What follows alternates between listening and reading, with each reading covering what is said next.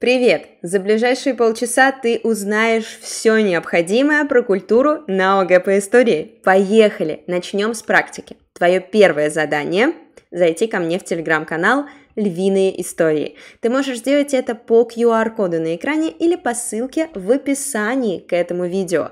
В телеграм-канале тебя ждет закреп – который называется «Полезности», и в этом закрепленном сообщении внизу полезные ссылки. Там ты найдешь квизлет с датами по истории России для экзамена. Не забудь подписаться, потому что каждый день я выкладываю что-то полезное и интересное. Начнем мы сегодня со знакомства. Знакомимся с тем, как же выглядит задание по культуре на экзамене. А сейчас это задание 13-14. Почему говорю сейчас? Дело в том, что на данный момент есть информация только по ОГЭ 2024. Официальная демо-версия 2025 года появляется на сайте ФИПИ в августе. Обычно всегда происходит именно так. И поэтому еще через некоторое время мы с вами посмотрим, как же будет выглядеть официальный вариант 2025 года. Возможно, появятся какие-то изменения. Поэтому второе задание. Обязательно подпишись на этот YouTube канал, чтобы не пропустить мой разбор демоверсии, который выйдет совсем-совсем скоро, уже в конце лета. Ну а мы начинаем. Какие из приведенных памятников культуры были созданы первой половине 19 века. Так выглядит задание номер 13. На месте первой половины 19 века может быть совершенно любой период. Поэтому делаем вывод. Для того, чтобы справиться с культурой на экзамене, нам нужно знать, когда памятник был создан. На ОГЭ не нужно знать четкие даты вплоть до года. Обычно хватает только половины века. Первая или вторая половина. Ну, давайте посмотрим. Здесь у нас верный ответ. 3, 2, 1. Это 4-5. Надеюсь, что все справились. А если нет, не расстраивайтесь, это не страшно, потому что мы здесь собрались именно для того, чтобы помочь вам выучить все необходимое для экзамена.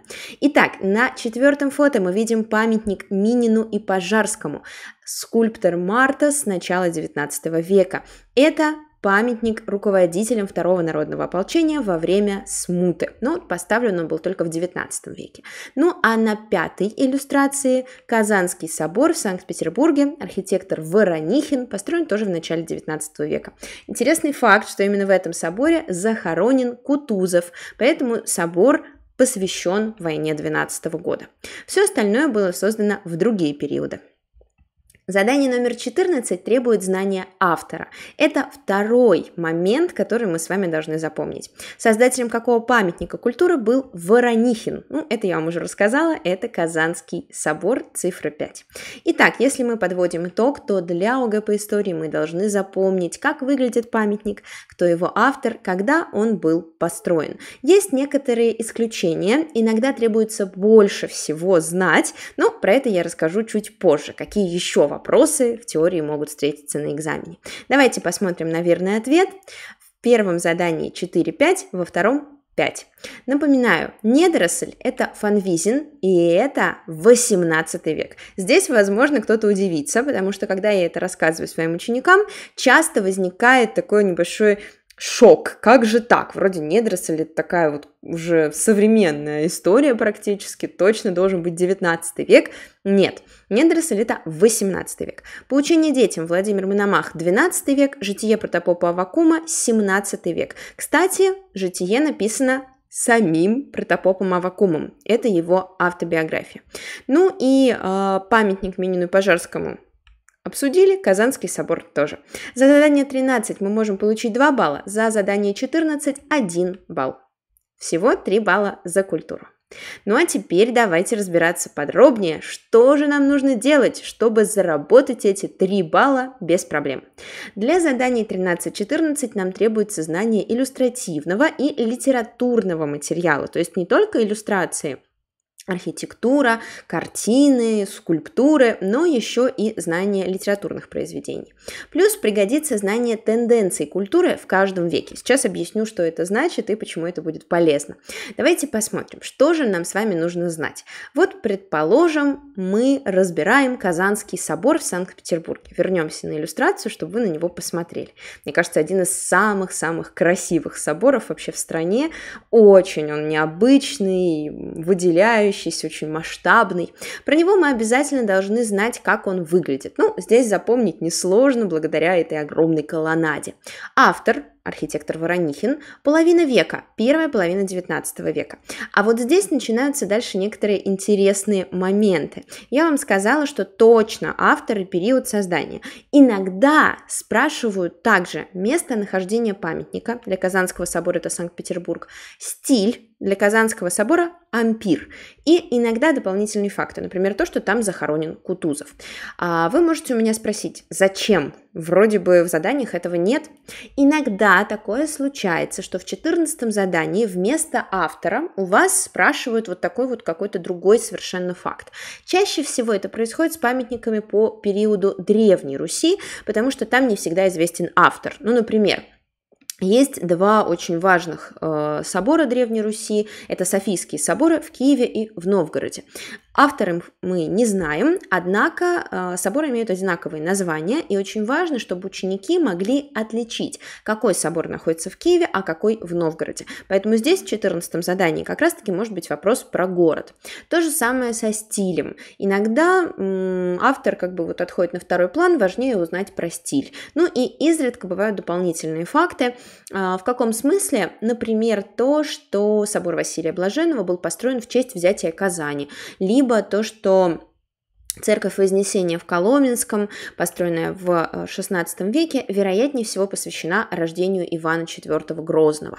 А эти факты даже не всегда бывают в заданиях номер 13-14, они могут быть в других заданиях экзамена, в текстах, эм, еще где-нибудь, и по таким деталям, по таким мелочам вы сможете понять, о чем идет речь. Так что на самом деле культура важна не только для заданий 13-14, ее знание в целом может вам пригодиться пригодится во всем экзамене. Ну, кто знает, какой вопрос вам попадется, особенно во второй части. Например, иногда во второй части в задании номер 23, не знаю, видели вы уже такое задание или нет, но рассказываю, а, требуется сравнить культуру при двух разных правителях. Вообще суть 23-го задания а, заключается именно в сравнении двух правителей, двух войн, двух реформ, двух каких-то процессов. И вот иногда там бывает как раз-таки а, формулировка «сравните культуру в период правления там, Ивана Грозного и Петра Первого». И вот здесь знание культуры вам опять же пригодится. А, остается последний вопрос на этом слайде. Что такое тенденции культуры и зачем их нужно знать? Смотрите, друзья, слово «тенденция» обозначает какое-то общее направление развития культуры в какой-то период. И если вы будете понимать, какие черты объединяют памятники 17 века, объединяют памятники 19 века между собой, то вам будет гораздо проще их узнать на экзамене. Приведу пример. А, если мы с вами видим а, дворец с огромным количеством колонн, и кроме колонн там больше ничего нет. То есть все очень простое, стены простые, окна простые, нет лепнины, нет ничего, кроме колонн. Это стиль классицизм. И мы должны знать, что стиль классицизм был развит больше всего во второй половине XVIII века. Либо, если вы видите какое-то очень странное здание с множеством разных деталей, вот такое вот нагроможденное, с огромной вероятностью это 17 век, потому что именно там были такие необычные и уникальные здания. Поэтому, когда мы с вами будем проходить культуру, вы должны обращать внимание на то, а, чем похожи памятники одного периода. И тогда вам будет гораздо проще их узнавать на экзамене. Приведу еще один пример. Не могу остановиться, очень хочется сделать так, чтобы вы полюбили культуру, потому что это на самом деле очень-очень интересная тема. А еще один важный момент по поводу тенденций и общих линий развития в культуре – это культура севера и юга Древней Руси. А, вот опять же, если сравнить, как выглядит Софийский собор на э, севере в Новгороде и Софийский собор на юге в Киеве, это ярчайшие примеры двух совершенно разных подходов к архитектуре. Если вы запомните черты э, северной и южной архитектуры, вам будет проще узнавать памятники. Вот так вот. Я на своем курсе очень подробно все это рассказываю, объясняю, поэтому приходите, если хочется получить помощь с культурой. Ну а теперь вопрос, как же нам готовиться к этим заданиям? Как выучить культуру? Что делать? Давайте посмотрим. У меня есть несколько советов. Ну, во-первых, много списков, как вы видите. Действительно, друзья, списки, сводные таблицы, все это помогает лучше запомнить материал. А в каком смысле списки? Я бы советовала вам делать это либо в формате э, на компьютере. В каком э, смысле? Вы можете сделать файл в Word или еще в каком-нибудь редакторе и э, ввести там табличку из эм, четырех столбцов, например. В первый столбец вы вставляете иллюстрацию, как выглядит этот памятник, ну, если это картина, скульптура или здание. Во второй столбец вы вставляете название, дальше это у нас автор, и период создания. Да, вот такие вот четыре столбца. И вы собираете свой документ потихонечку, когда вы учите какой-то период. А, либо это можно делать вручную, но тогда вам, скорее всего, придется печатать картинки. Если есть возможность, это будет еще лучше, потому что так вы задействуете больше видов памяти. То есть вы еще и руками будете что-то делать, приклеивать, подписывать, обводить и так далее. Можно делать списки по периодом, то есть, например, вся живопись XIX века. Можно делать списки произведений по авторам. Ну, э, здесь надо сказать, что на экзамене у нас обычно где-то 2-3 произведения от одного автора, ну, иногда 4, поэтому большие списки здесь не получится. Скорее, просто старайтесь группировать произведения по авторам, то есть, когда вы разобрали одно произведение этого автора, сразу посмотрите, какие еще произведения у него встречаются на экзамене, чтобы все это вместе выучить. И делать делайте списки памятников по стилям. Если вы запомните э, черты классицизма, если вы сделаете список всех дворцов в стиле классицизм, увидите что-то общее между ними, вам будет их гораздо проще узнать на экзамене. Также не забывайте о том, что культура – это очень красиво, и здесь нам на помощь приходит наше воображение, наша фантазия. В каждом памятнике стоит находить значимые детали и придумывать для себя какие-то ассоциации. Ну, вы можете считать этажи, это будет очень полезно, да, потому что вы можете запомнить, что у какого-то дворца три этажа, у какого-то четыре, Можете обращать внимание на украшения из лепнины, да, какой-то дворец полностью усыпан цветами, например, из гипса, а на другом вообще ничего нет. А, кошка в углу картины, это моя любимая просто. А, надеюсь, вы тоже любите кошек, как и я. Поэтому чуть-чуть попозже, через несколько минут, я вам покажу обязательно две картины, которых мы можем, которые мы можем узнать благодаря наличию на них кошек, вот таких вот прекрасных персонажей. А Книги можно учить по ассоциациям с названиями, ну и так далее. То есть здесь надо подходить максимально творчески. Ну, все-таки это культура, куда деваться, да? Мы с вами здесь ни в коем случае не должны просто зубрить. Нужно постараться увидеть какой-то смысл, логику, наполнить э, иллюстрацию чем-то важным для вас, э, увидеть какую-то смешную мордочку в э, иллюстрации здания, заметить какую-то деталь на картине. Все это будет очень полезно. Я обязательно буду вам вам с этим тоже помогать на курсе. Вообще обожаю это делать и а, очень люблю проводить уроки именно по культуре, потому что очень нравится вам показывать такие вот милые маленькие подсказки и детали. Ну а еще не забывайте, пожалуйста, что для экзамена очень важно изучить фото памятников с разных ракурсов, потому что бывают некоторые здания, которые э, ну, максимально отличаются с двух сторон. На это нужно обращать внимание. А, совет Откуда можно брать информацию? Думаю, это всех интересует. Удобно брать информацию из сборника Пазина, который называется «История развития российской культуры». Здесь хочу подчеркнуть, друзья, что это сборник для ЕГЭ, для ЕГЭ по истории, но не пугайтесь, это нормально. Это очень хороший сборник, он нам с вами тоже подходит. Единственное, что вы не должны в нем читать последние несколько глав по 20 веку, потому что этой культуры на ОГЭ нет. Все. Все остальное полезно, пригодится, будет действительно очень-очень сильно вам помогать в течение учебного года. Так что, если готовитесь самостоятельно, заведите себе этот сборник. А, но если приходите ко мне на курс, то вам ничего дополнительно покупать не нужно, потому что вся информация уже есть в материалах курса в наших уроках. Ну а теперь давайте подробнее посмотрим, что же это значит работать с культурой. Я сейчас буду вам показывать некоторые очень интересные памятники, делиться лайфхаками и, скажем так, лазейками, как же все это запомнить. Давайте посмотрим. Поговорим о важности деталей. Перед нами два памятника, это дворцы архитектора Франческо Растрелли, построенные практически в один и тот же период в середине XVIII века. Очевидно, что если у них один автор, один период постройки, ну, они, конечно, будут похожи. И когда мы смотрим на них вот так вот э, быстрым взглядом, то кажется, что это просто один и тот же дворец с разных ракурсов. На самом деле это не так, и я научу вас отличать два этих здания. Во-первых, давайте посмотрим на крышу. Начнем сверху. Если мы с вами смотрим внимательно на Зимний дворец, то мы увидим, что вся его крыша усеяна скульптурами. Посмотрите, сколько там статуй, там как будто целое собрание. А на крыше Екатерининского дворца мы такого не видим. То есть здесь никакие статуи нам в глаза не бросаются. Вот вам разница. Дальше мы с вами можем посмотреть на колонны. А, обращаю ваше внимание, что это уже начинает развиваться стиль классицизм.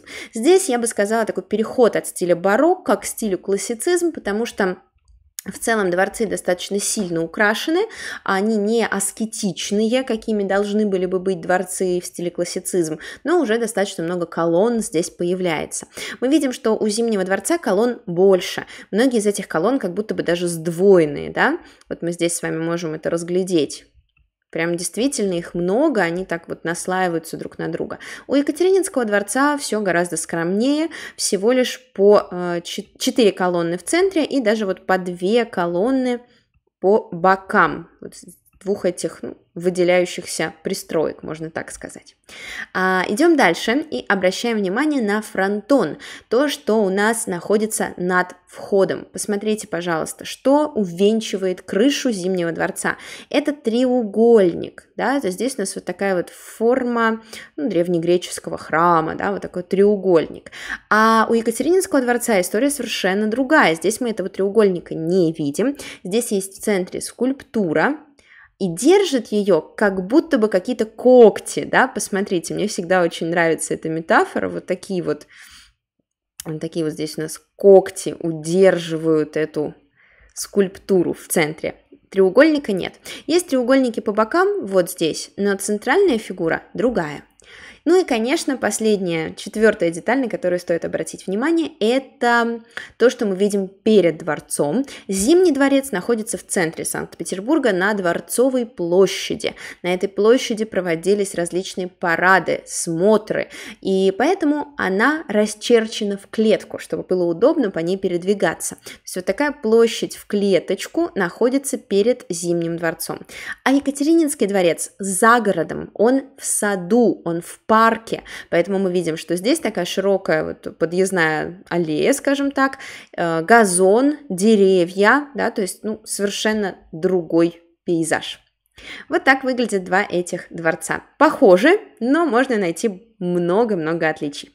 Я надеюсь, что этим примером смогла показать вам, что на самом деле культура гораздо логичнее, гораздо удобнее для изучения, чем может казаться. Многие э, переживают и боятся культуры, потому что кажется, что там все просто нужно зубрить, невозможно что-то понять. На самом деле это не так. Вы можете на каждой э, фотографии, на каждой иллюстрации найти что-то, что будет вам помогать. Давайте еще раз это докажем и посмотрим на два очень похожих памятника. Собор Покрова на Рву, либо по-другому собор Василия Блаженного, и храм Спаса на Крови. Первый в Москве, Москве, второй в Санкт-Петербурге. Собор Покрова на Рву построен в XVI веке, собор Покро... э, Спаса на Крови в XIX, начале XX века. Ну, то есть памятники далеко друг от друга, их разделяет большой временной промежуток, но они похожи. Вот не повезло нам с вами, что в начале 20 века была мода на такую вот э, древнерусскую, да, московскую какую-то такую архитектуру, и поэтому памятники оказались очень похожи. Но даже их мы можем отличить. Идем сверху, посмотрим на купола. Посмотрите, у собора Покрова на Рву Василия Блаженного верхний купол золотой, без украшений. У Спаса на Крови он вот такой вот витой в полосочку, они разные. Идем дальше, смотрим на остальные купола. У собора Покрова на рву куполов очень много, и мы можем этот собор как бы разделить вот так симметрично по середине, и мы увидим, что здесь есть три купола слева и два справа. Э, купола слева полосатые, купола справа такие вот, ну, граненые как будто бы, да, похожи, наверное, на какую-то шишку по текстуре. А у Спаса на Крови все вообще не так. Если мы делим собор по линии прямой, то мы видим, что слева и справа одинаковое количество куполов. Здесь у собора Покрова на рву купола на разных ярусах, он такой объемный, а у Спаса на Крови они на одной высоте. И, наконец, еще одно отличие, это то, что у Спаса на Крови есть отдельная колокольня. Вот здесь она выделяется с очень большим широким золотым куполом. У Покрова на рву такой нет. Ну и, конечно, а, то, что находится перед собором, Собор Покрова на Рву – это Красная площадь, а храм Спаса на Крови – это один из санкт-петербургских каналов. Ну, к сожалению, не всегда вода или площадь попадает э, в кадр на ОГ, поэтому по ним давайте лучше не будем определять памятник, а вот все остальные детали нам с вами очень помогут. Ну и, наконец, переходим к живописи, и сейчас покажу то, что я обещала, картины с котиками. Это, мне кажется, самый любимый автор всех моих учеников, надеюсь, ваш тоже будет. Это Федотов. Он творил в первой половине 19 века. У него есть две очень известные картины, сюжетные. Обратите внимание, сюжетные картины, где мы видим какую-то историю, это специфика 19 века. В 18 веке таких картин особо не было, и на УГ такие сюжетные картины будут относиться всегда к 19 веку.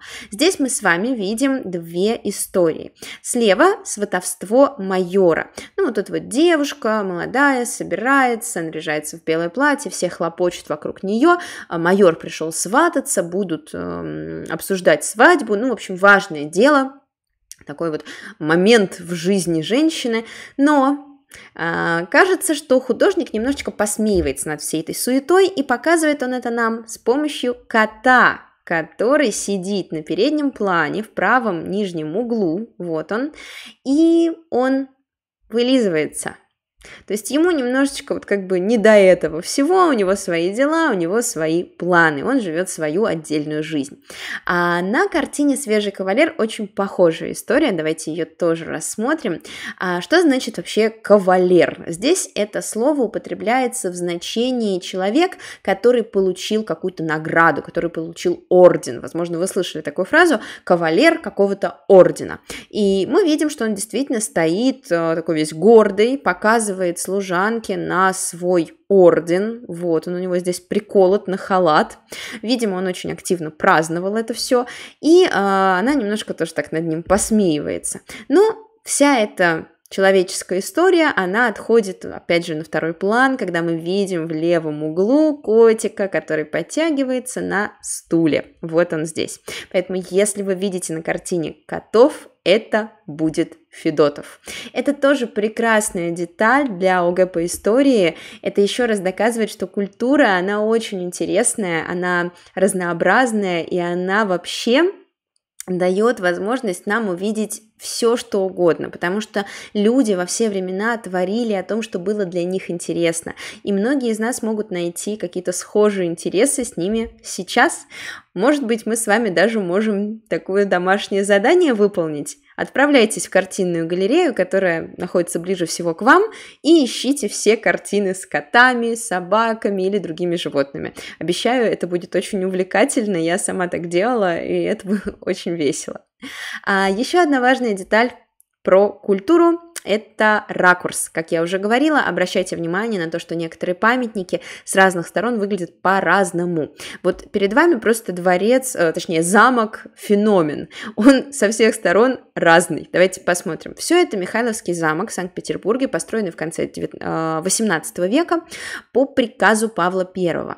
Этот замок Павел строил как свою крепость. Там внутри прямо была церковь. Вот мы с вами здесь можем видеть шпиль а, этой церкви, возвышающейся над замком, да, видите, его на самом деле на любом фото заметно, а, он заметен на любом фото. А, Павел I построил внутри церковь, а, у него внутри было множество тайных ходов, в общем, это место было неприступно, защищено рвом даже снаружи, потому что он очень боялся за свою жизнь, он боялся заговора. В итоге, конечно, по иронии судьбы, именно там он и погиб, именно внутри Михайловского замка на него напали, и он был убит в результате очередного дворцового переворота. Но нам с вами интересно сейчас не это, а то, что замок с разных сторон выглядит по-разному. Посмотрите, очень важно это запомнить. Еще один яркий пример – это Новый Иерусалимский монастырь, построенный в 17 веке по приказу патриарха Никона. Вот там тоже главный храм с двух сторон выглядит совершенно по-разному. На это нужно обращать внимание. Ну и, наконец, еще несколько важных советов и подсказок. Давайте посмотрим, друзья. Как мы можем все это выучить? Как мы можем обратить внимание на все эти детали?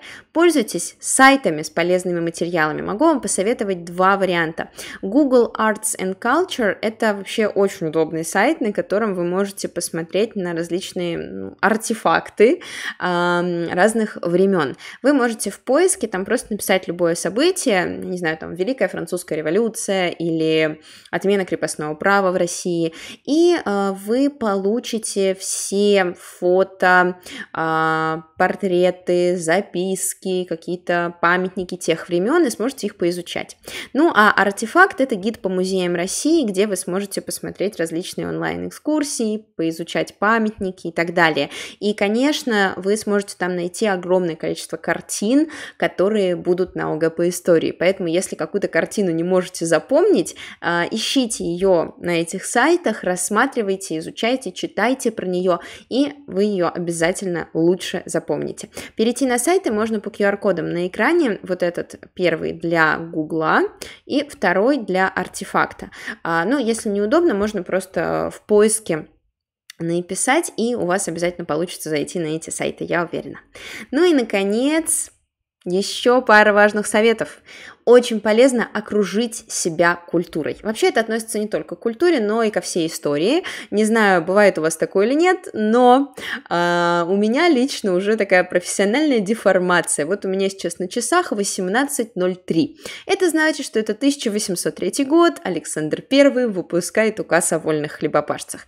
Это на самом деле очень полезная привычка, потому что когда вы готовитесь к экзаменам, чем чаще вы повторяете даты, тем лучше. Поэтому смотрите на на время вспоминайте, что произошло в этот год. Ну, а по культуре, конечно, мы так сделать не можем, но если вы не можете запомнить какой-то памятник, какую-то картину, Поставьте ее на обои на телефон.